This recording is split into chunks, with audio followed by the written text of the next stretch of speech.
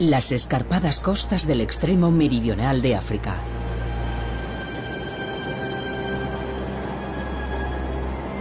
Inaccesibles y accidentadas. Pero aquí hay un habitante que se mueve con total soltura.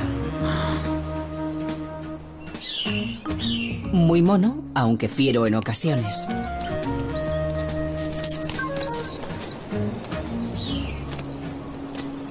Sociable y que parece diseñado para vivir al borde del abismo. Hablamos del damán de El Cabo o damán roquero. El damán roquero, un auténtico superviviente sudafricano.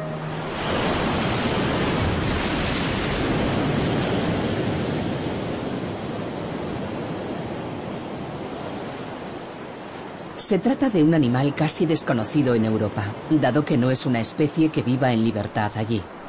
No son marmotas, aunque se parecen. Tampoco son roedores. Los damanes son únicos. No hay animales como ellos, ni siquiera con los que están emparentados. Sorprendentemente, sus parientes vivos más cercanos son el elefante y el manatí pero sus hábitats no podían ser más diferentes. Los damanes viven en lugares inaccesibles para la mayor parte del reino animal. Son escaladores innatos. Las grietas estrechas y los salientes pronunciados no son problema. Lo importante es subir al solarium del ático, uno de sus sitios favoritos.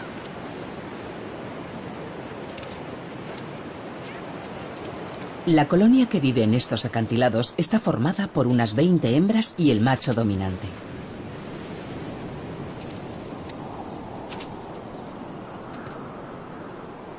El espeso pelaje los protege de los elementos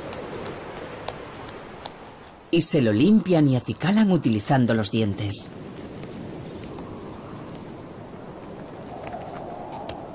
También tienen una uña alargada en las patas posteriores con las que rascarse a placer.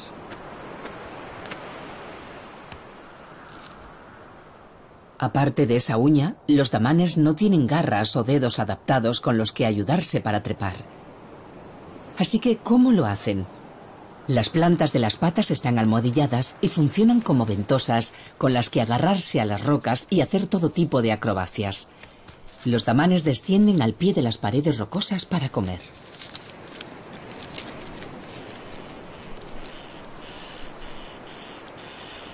Aquí encuentran flores, hierbas y líquenes de los que alimentarse. Solo dedican una hora al día a buscar comida. Pero son 60 minutos en los que no pueden bajar la guardia el momento de alimentarse es también el más peligroso. Alejados de su refugio habitual y distraídos mientras buscan comida, se convierten en la presa perfecta de los depredadores que surcan los cielos.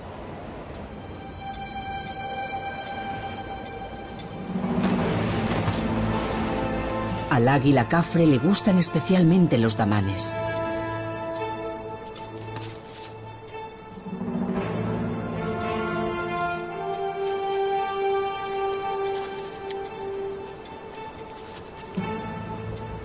Si sus presas la descubren, se dispersan rápidamente.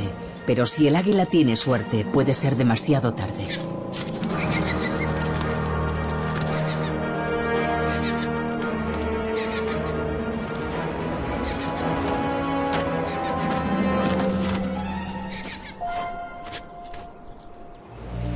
Esta vez, este macho ha conseguido escapar.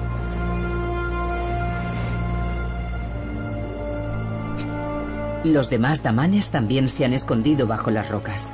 Tardarán en atreverse a salir otra vez.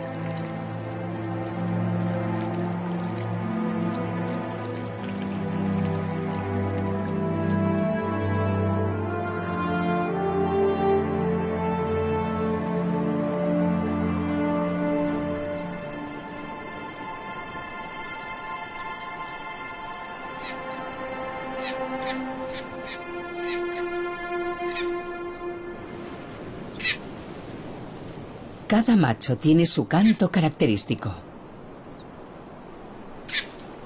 Como el líder de esta colonia, que lo utiliza para comunicarse con las hembras.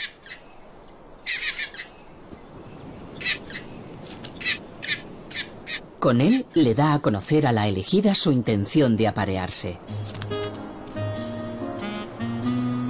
Y ella desprende un aroma que le indica a él si está dispuesta o no a acceder a sus deseos, aunque puede tardar un buen rato en decidirse.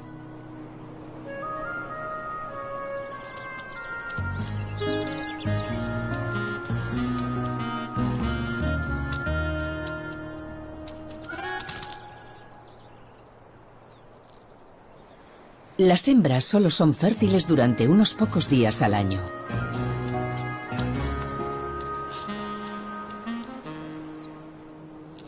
Así que los machos no pueden dejar pasar ninguna oportunidad.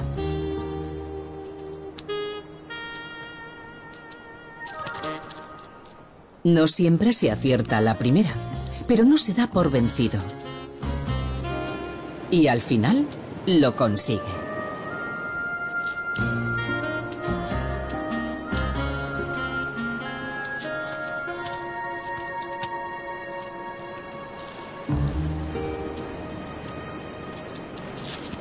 Este pequeño intercambio dará su fruto y el macho dominante se apareará con otras hembras. En Sudáfrica, el final del verano marca también el fin de la época de reproducción de los damanes. Muchas de las hembras de la colonia están preñadas.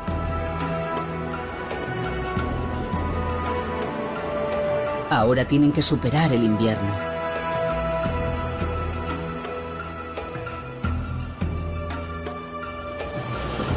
Durante los siguientes cinco meses se suceden las tormentas que agitan violentamente el mar.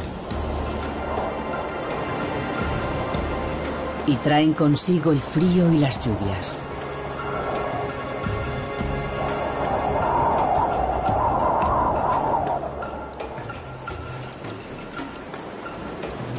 La humedad es bien recibida por la vegetación de la zona.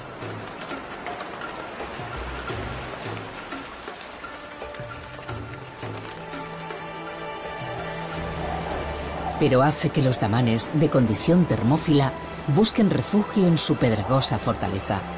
No se atreven a salir con este tiempo.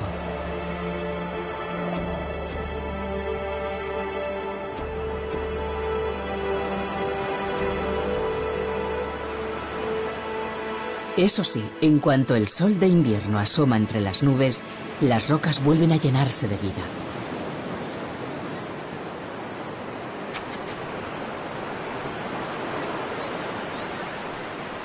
Los damanes necesitan calor para ponerse en marcha, porque con el frío su temperatura corporal disminuye unos cuantos grados.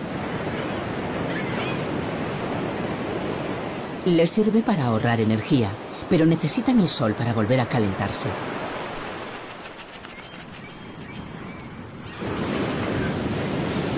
Sobre todo las hembras preñadas.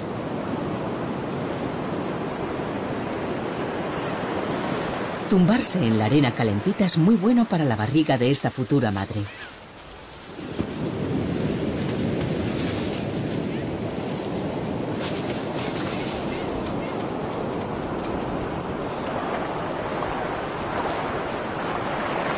Los osos marinos del cabo, en cambio, no tienen ningún problema con su temperatura corporal.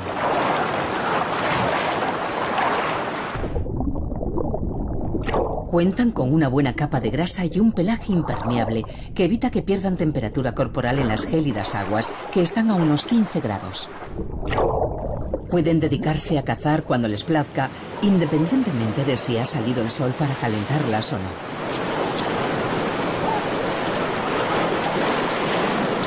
En realidad, solo se acercan a la costa para descansar, en época de reproducción y para criar a los pequeños. Estas rocas que sobresalen hacia el mar son un sitio ideal para todas esas cosas.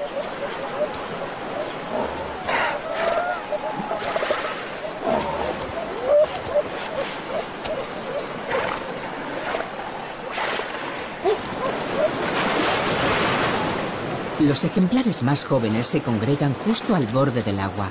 No parece que les moleste mojarse de cuando en cuando mientras descansan.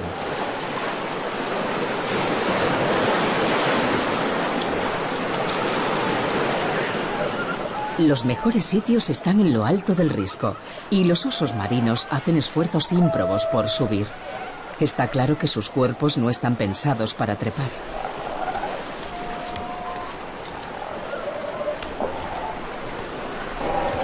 Y siempre surgen disputas por la mejor ubicación.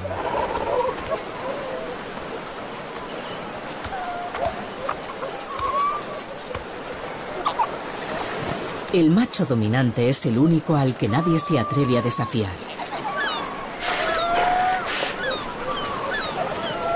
Las gaviotas cocineras son unos temidos habitantes de la costa sudafricana.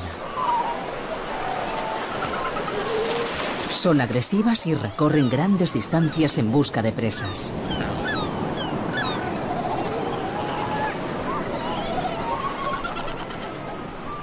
En cualquier caso, los damanes no tienen nada que temer de ellas. Pueden seguir solazándose en las rocas calientes como si nada.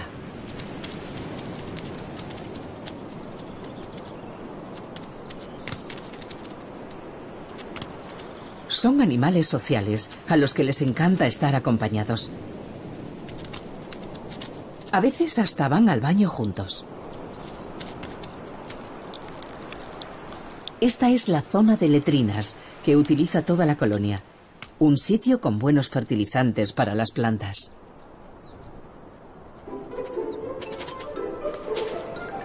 El nutritivo néctar de estos brotes atrae a los polinizadores. Esta vez no es un insecto, sino una hembra de musaraña elefante. Necesita la energía de este néctar, dado que tiene crías que alimentar.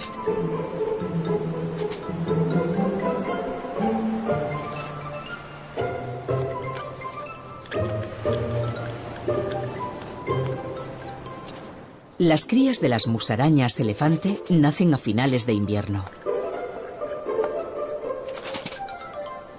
Lo que aquí, en la región del Cabo Occidental de Sudáfrica, significa que la primavera está a la vuelta de la esquina.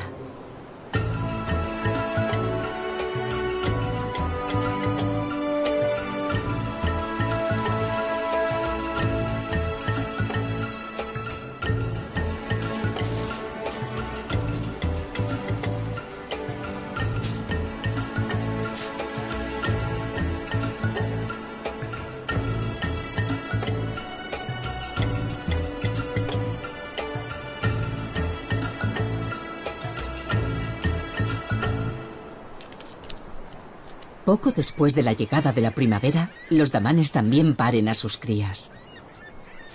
Las camadas son de dos o tres ejemplares. En cuanto nacen, tienen la vista desarrollada y pueden corretear libremente por ahí. Bajo la atenta mirada de su madre, eso sí. Aquí en la costa sigue haciendo frío, así que los pequeños tienen que acurrucarse juntos para mantener el calor.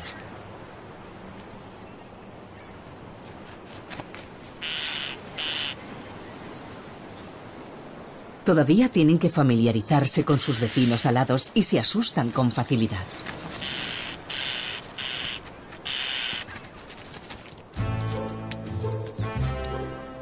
A diferencia de los adultos que ni se inmutan. El estornino de alas rojas africano no es peligroso. ¿O sí? Desde luego molesto puede llegar a serlo.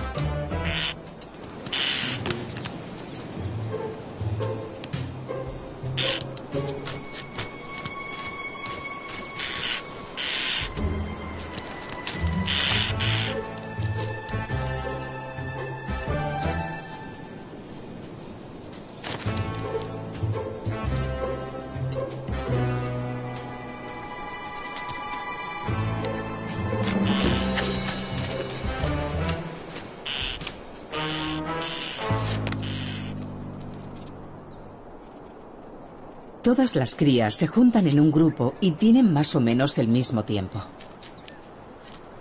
Pero temperamentos muy distintos. Algunos son más aventureros y quieren descubrir el mundo que los rodea.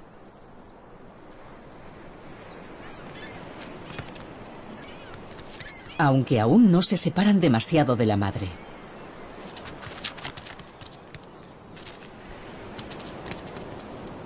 En sus primeros días de vida, las crías se alimentan únicamente de la leche materna.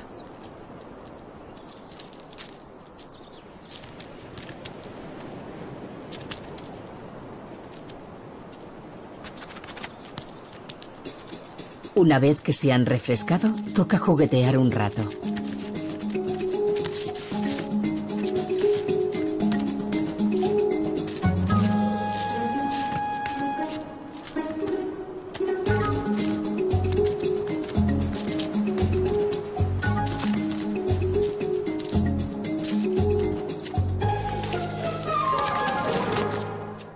Pequeñajo es especialmente atrevido y activo.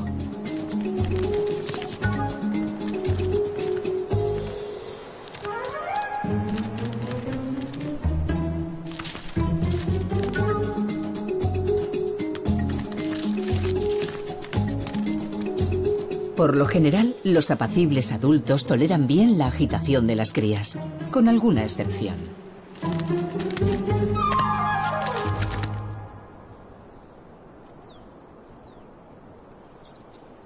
Mientras las hembras se encargan de los pequeños, el líder del clan vela por su gran familia. Es joven y fuerte, y mantiene su hegemonía en sus dominios.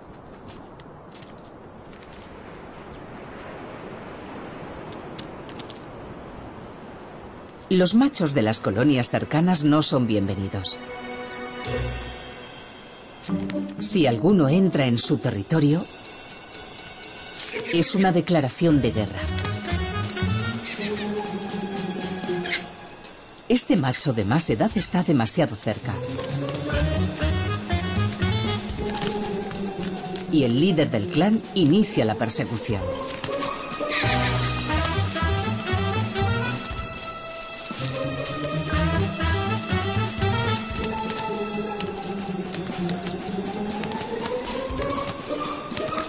Nadie osa disputarle su territorio.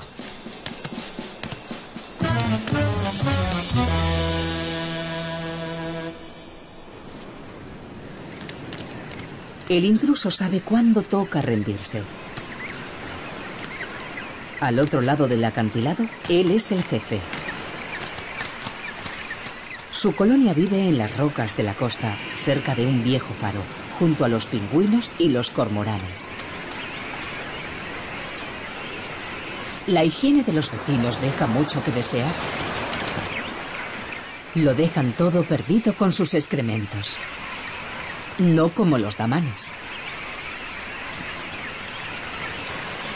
Las zonas donde hacen sus deposiciones son siempre las mismas, de generación en generación, a veces durante siglos.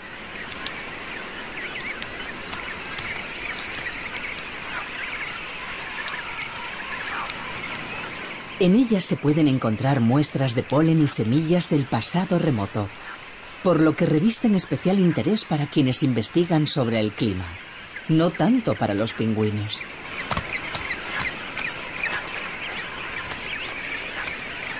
El macho dominante ya ha terminado. Y nada mejor que un baño de arena para limpiarse debidamente.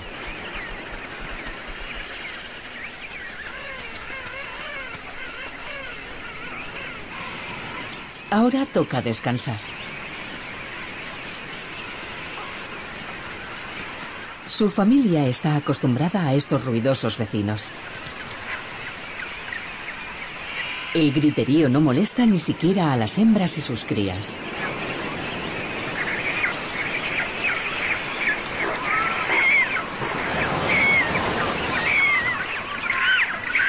A mitad de la primavera comienza la época de cría de los cormoranes.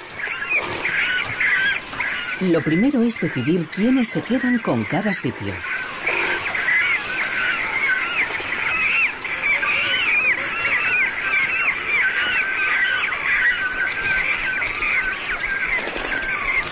Hay verdaderas peleas por los mejores lugares de anidación.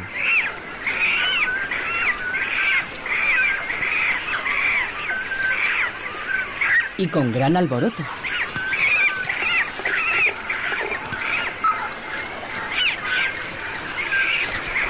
La pareja más implacable se sale con la suya y se queda con el mejor puesto, a la sombra.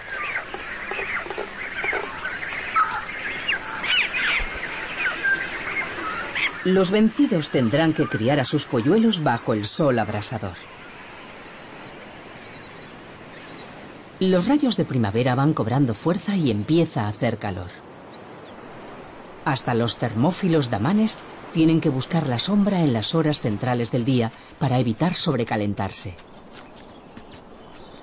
En la colonia de las rocas hay muchos sitios frescos, aunque las crías no paran quietas.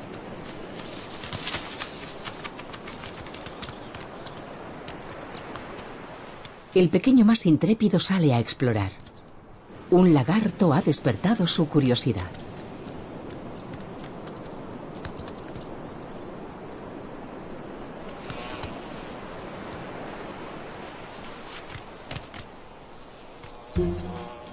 Pero el lagarto está de caza y solo tiene ojos para sus aperitivos con alas.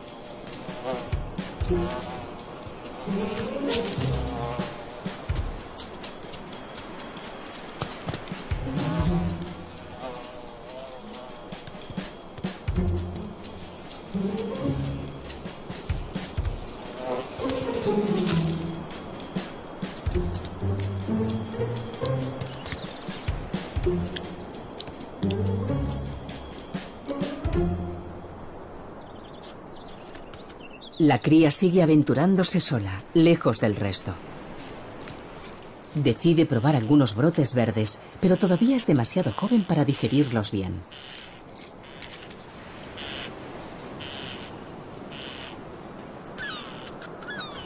Una de sus hermanas ha preferido quedarse con la madre.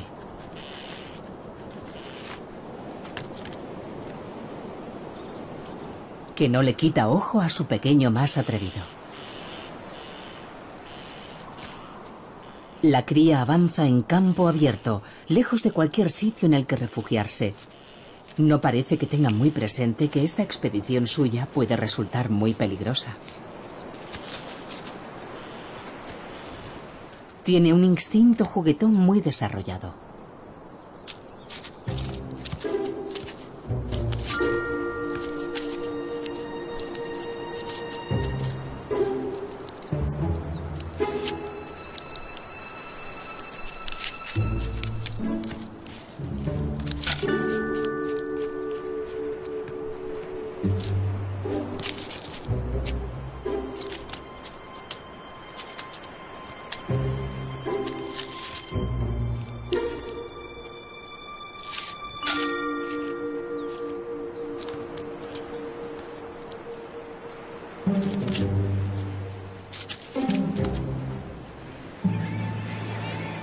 Los adultos tampoco pierden de vista el cielo. De hecho, pueden mirar directamente al sol sin hacerse daño, porque tienen una membrana especial en los ojos que los protege. Así que enseguida se dan cuenta de que el águila está intentando ocultarse con los deslumbrantes rayos solares. Con una llamada de aviso, todos corren a esconderse.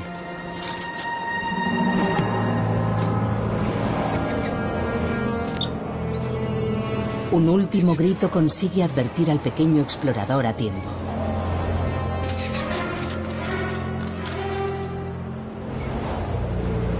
Esta vez, el águila se va con las manos vacías. Parece que los damanes están a salvo en su guarida de entre las rocas un día más. Pero el ataque se ha cobrado una víctima. Hasta los damanes pierden pie alguna vez y se precipitan al vacío.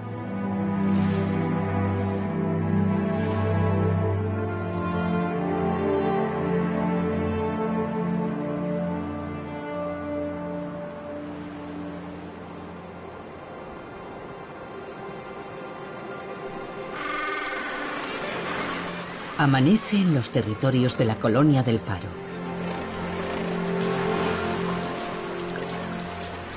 Los pingüinos ya están levantados.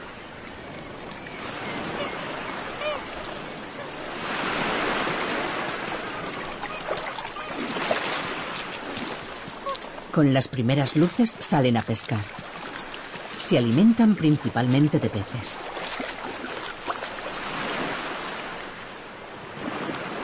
Mientras tanto, la gaviota plateada surafricana busca comida en la playa. Este pececillo es un buen desayuno, aunque un poco escurridizo.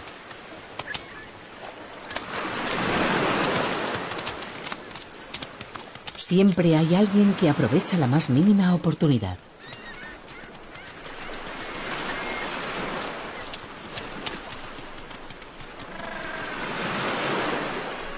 ¿Se podrá tragar esta pieza tan voluminosa de una sentada?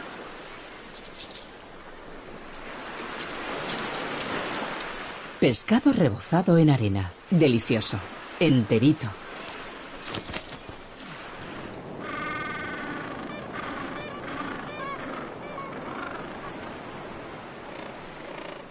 Acaba de salir el sol. Los tamanes siguen durmiendo en sus escondrijos, pero los pingüinos llevan horas activos.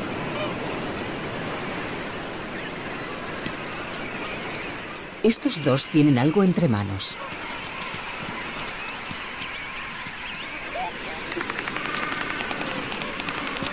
Aunque parezca una riña, es justo lo contrario, un ritual de cortejo.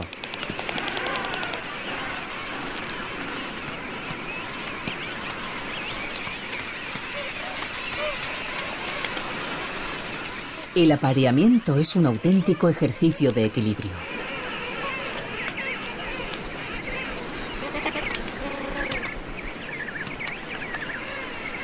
Y llega a su fin justo cuando se despiertan los damanes.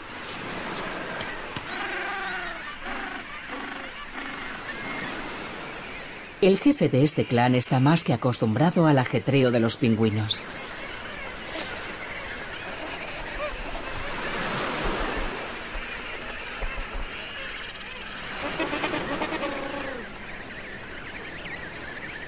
Los osos marinos se dejan ver menos por aquí. Es raro que se tumben a descansar entre los pingüinos.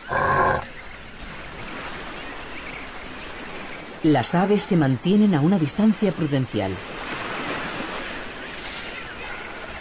En tierra, estos colosos no son una gran amenaza.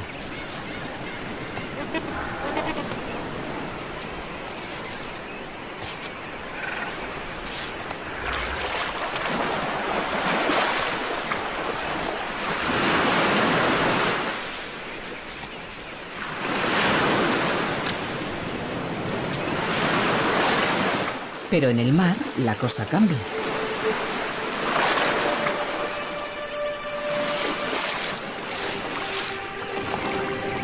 De vez en cuando, los osos marinos capturan pingüinos en el agua.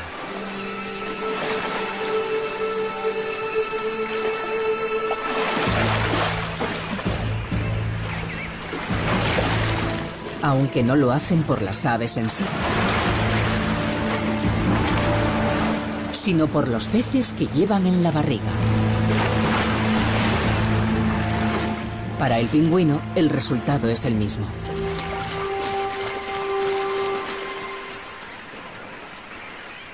En tierra, sin embargo, la vida es algo más tranquila. Al menos entre los damanes de la colonia del Faro.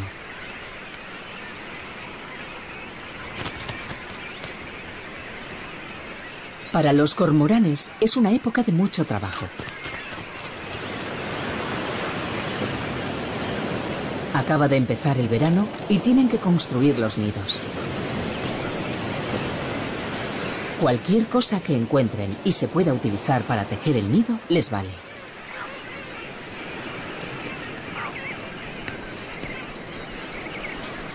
No hay demasiados materiales disponibles, así que hay que esmerarse buscándolos.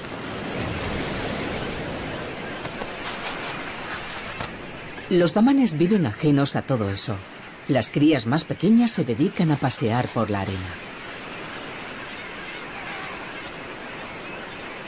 También curiosean en busca de cosas que comer, aunque todavía se alimentan principalmente de la leche materna. La vegetación dispersa entre las rocas de la playa les sirve de picoteo.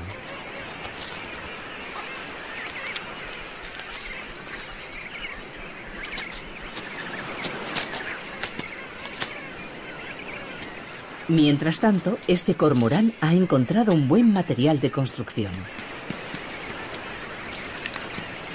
Aunque no siempre se consigue terminar el trabajo.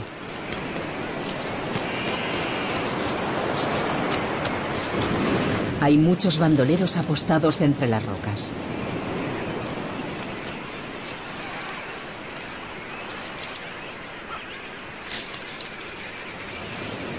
Y quien antes gane el tira y afloja y haga el nido, antes se puede poner a tener crías.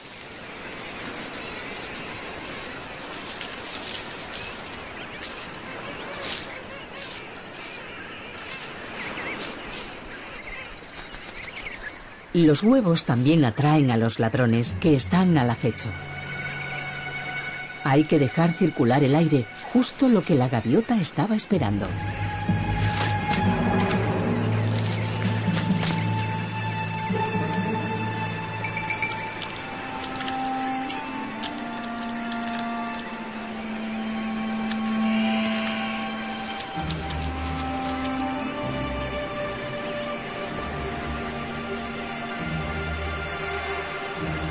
Pero un huevo no basta para saciar el apetito.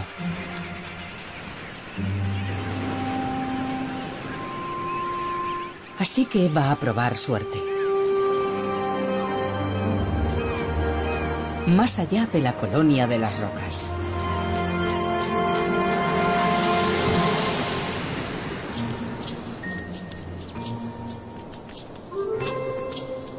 Las crías de Damán ya tienen unas semanas. Y no solo se alimentan de la leche materna, también comen plantas. El más atrevido se aleja más del grupo.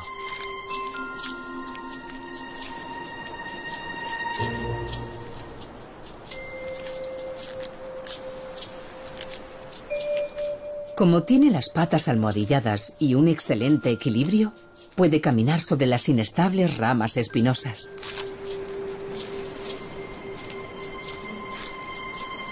Eso sí, salir de ahí no es nada fácil.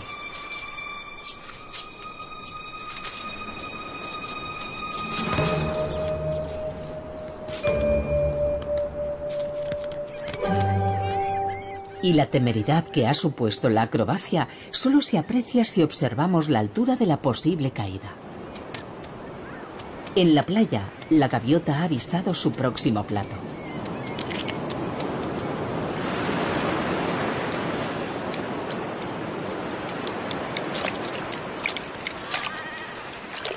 El cangrejo no tiene ninguna posibilidad.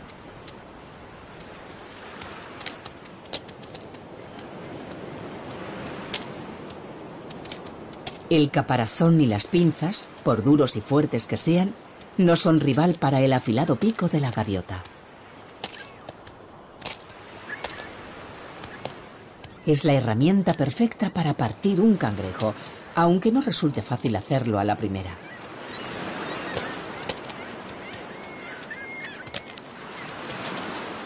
Hoy, la excursión de esta gaviota en busca de comida ha sido muy satisfactoria.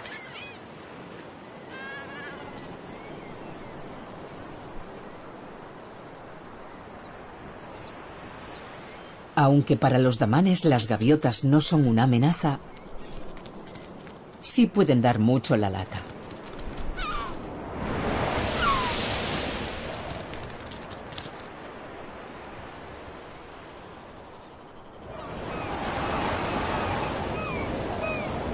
Ya con el buche lleno, la gaviota cocinera regresa a su colonia, donde hay quienes le esperan impacientes.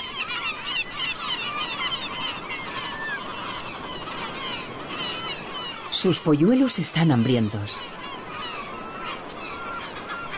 El menú de hoy es huevo con cangrejo, una mezcla muy nutritiva para la prole. Las crías son muy glotonas y pronto empezarán a pedir comida otra vez.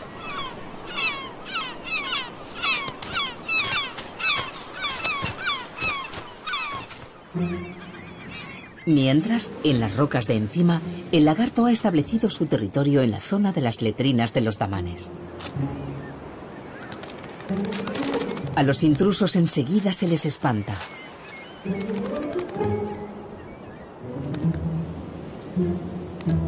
Estas flexiones son su forma de mostrar su dominio.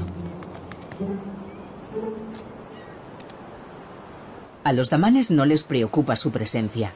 Al fin y al cabo, él nada en la abundancia gracias a ellos.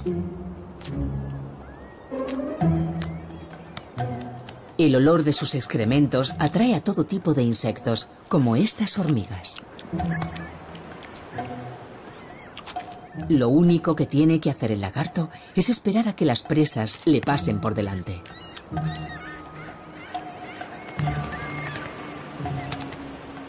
La abundancia de alimento atrae a otros interesados.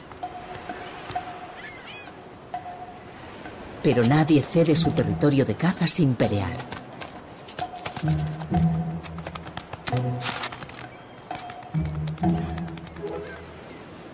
La zona de las letrinas cumple una función muy importante para muchos de los habitantes de las rocas. La musaraña elefante es un asiduo visitante nocturno. Sale en busca de su comida favorita, que aparte del néctar, son los insectos. Los escarabajos, por ejemplo.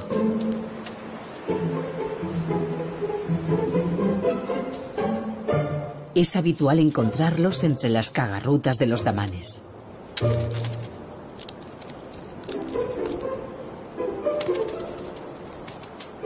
Y de postre, unas hormigas.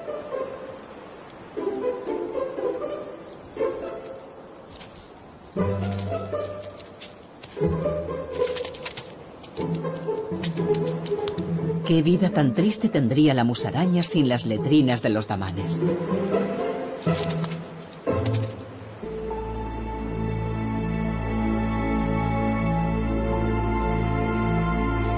Al caer la noche, empieza un mágico espectáculo de luz y color.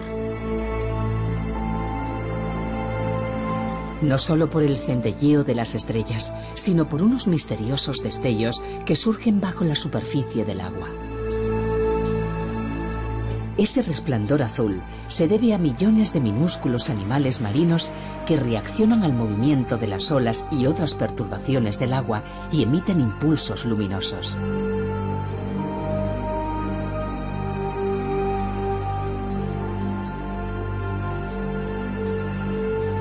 Este fantástico fenómeno se apaga al amanecer.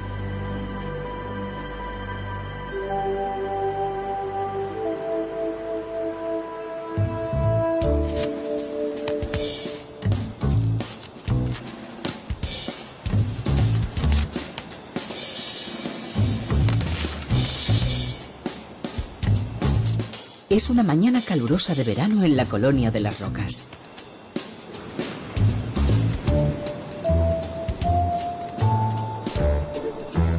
Las crías ya son bastante independientes.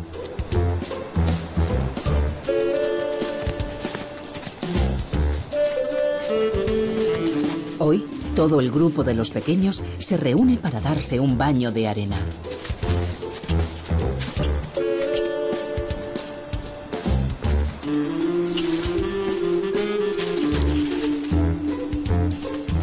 Es solo por placer, también es un buen antiparasitario.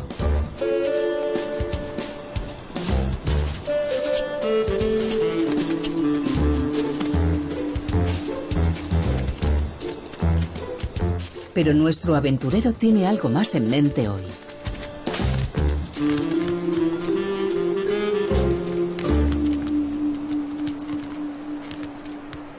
Se ha fijado en una hembra.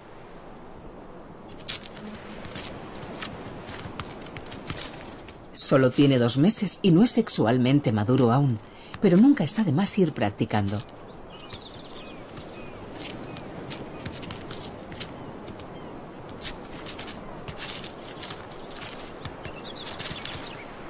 La jovencita no está demasiado impresionada con el juego y se zafa poniendo rumbo a un territorio peligroso.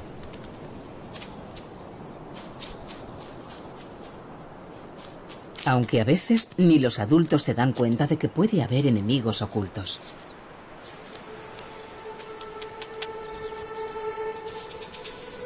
Hay una víbora bufadora escondida aguardando.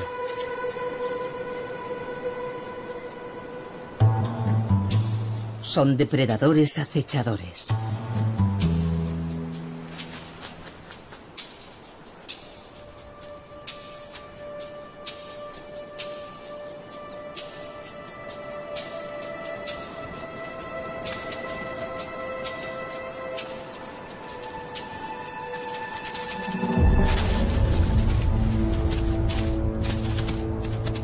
Instinto de huir aflora, pero demasiado tarde.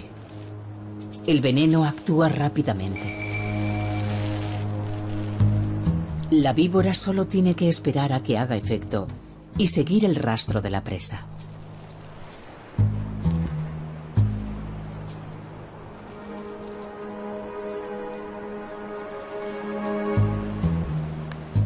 Un ejemplar joven de damán es una espléndida comida para una víbora.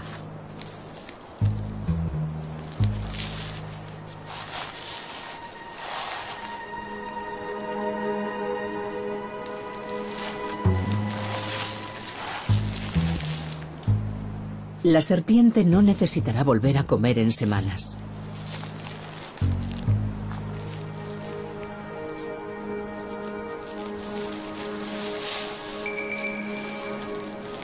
Para cuando vuelva a salir a cazar, el resto de las crías serán demasiado grandes para ella.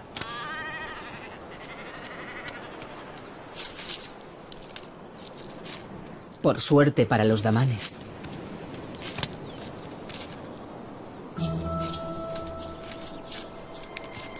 Nuestro intrépido macho está volviendo a poner a prueba sus dotes de escalador y se arriesga a tratar de alcanzar los brotes más nutritivos.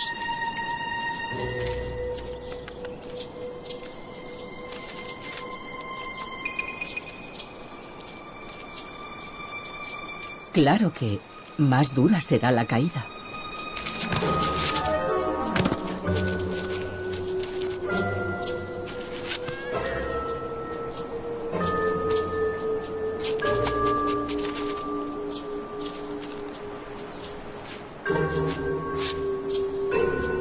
Todavía tiene mucho que aprender hasta que se haga adulto.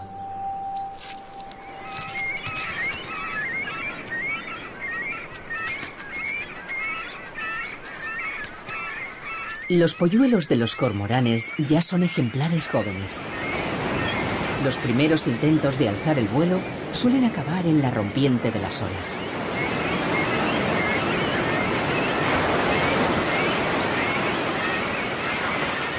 Si tienen suerte, la marea los arrastra hasta la orilla. Las aves, agotadas, tienen que esperar a secarse y recuperarse del revolcón para salir de allí. La gaviota cocinera no deja pasar la ocasión.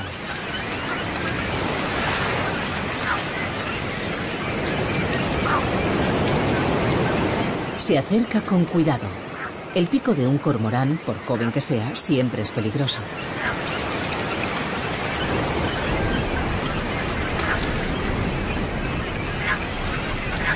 Pero el desventurado polluelo apenas es capaz de ofrecer resistencia.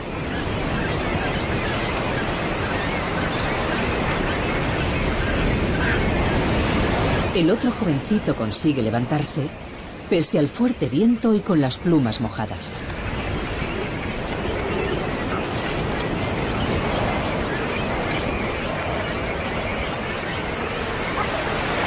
Lo más importante es secarse rápido para poder volar cuanto antes. La gaviota no ceja en el empeño.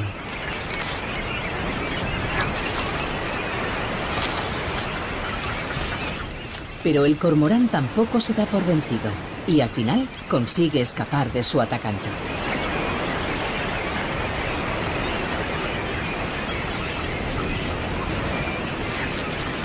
El oleaje y las gaviotas se cobran algunas víctimas.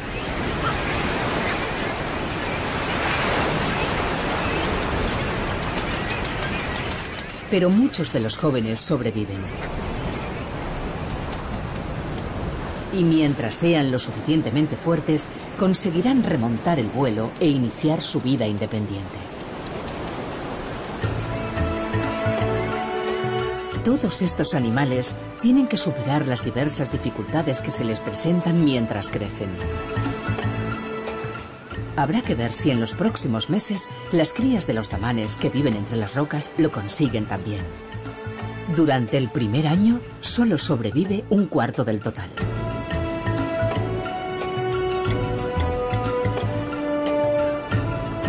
Con un poco de suerte, nuestro intrépido protagonista se hará adulto. Puede que incluso lidere su propia colonia algún día.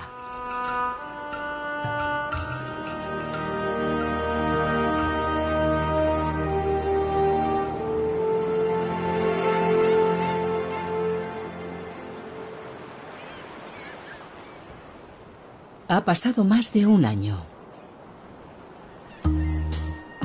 El aventurero y audaz pequeñuelo se ha convertido en un macho joven. La época de apareamiento se aproxima y algunas cosas han cambiado. El macho dominante de la colonia de las rocas está especialmente alerta.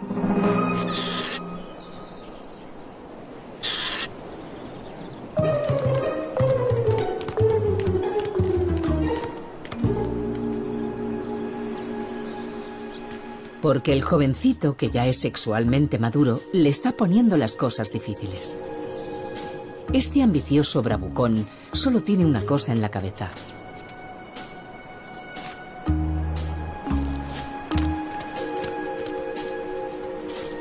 Y a las hembras no les preocupa demasiado la jerarquía o la supremacía. Pero el jefe del clan es mucho menos tolerante.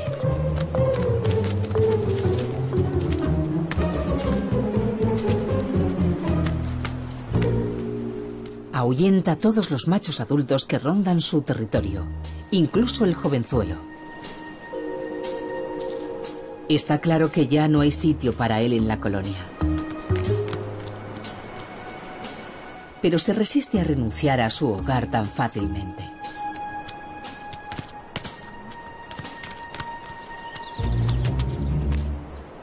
No obstante, el derecho a aparearse con las hembras es exclusivo del líder de la colonia.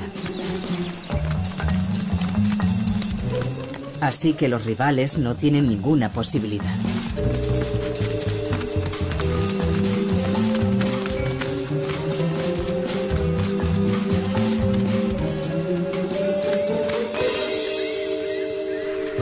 El joven Damán va a tener que buscar otro lugar en el que establecerse. Tal vez aquí, en la colonia del faro.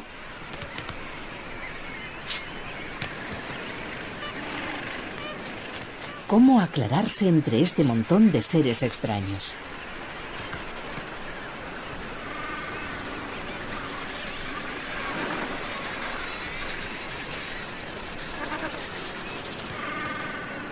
Por fin avista a un congénere.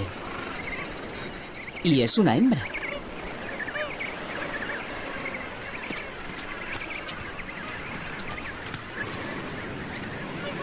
Se acerca con cautela. Desde abajo. Y ella en las alturas.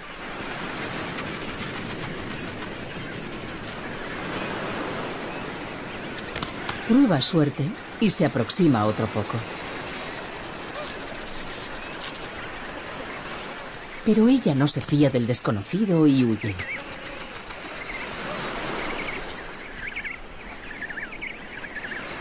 Dejando solo su aroma tras de sí.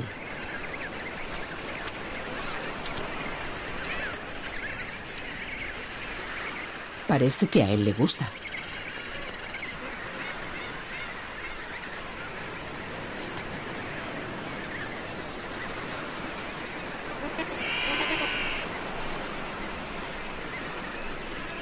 ¿Podrá quedarse aquí?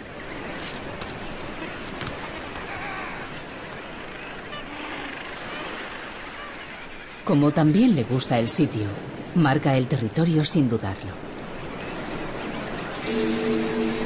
Pero alguien lo está observando con desconfianza.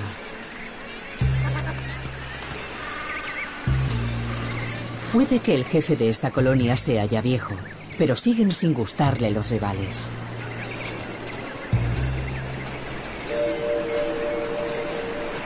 Avanza hacia el intruso con el pelaje del cuello erizado y le desafía con pose amenazante.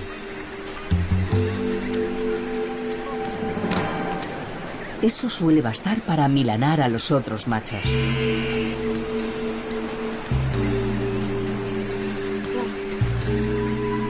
Con este joven también funciona.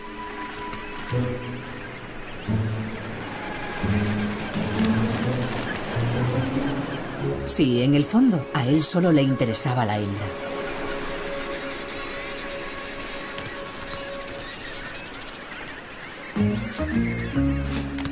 Y quién sabe, puede que pronto tenga la oportunidad de fundar una colonia con ella.